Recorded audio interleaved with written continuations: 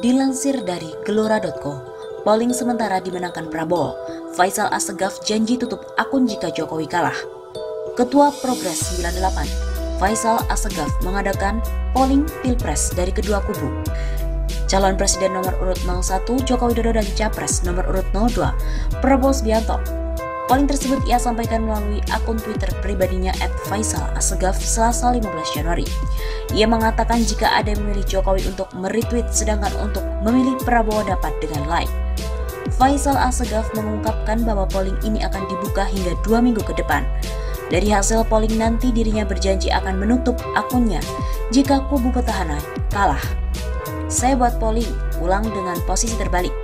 Satu pilih at Jokowi retweet, dua pilih at Prabowo like. Terhitung dari hari ini hingga dua minggu ke depan.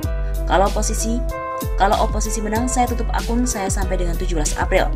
Monggo, saya mau lihat apa masih tuding polling ini hasil rekayasa robot? FA, tulis Faisal Aksegaf. Hingga berita ini diterbitkan, hasil sementara menunjukkan bahwa kubu Prabowo lah yang memenangkan polling tersebut. Diketahui pemilih nomor 2, Prabowo mencapai 39.262, sedangkan pemilih nomor 1, Jokowi, yakni 14.002.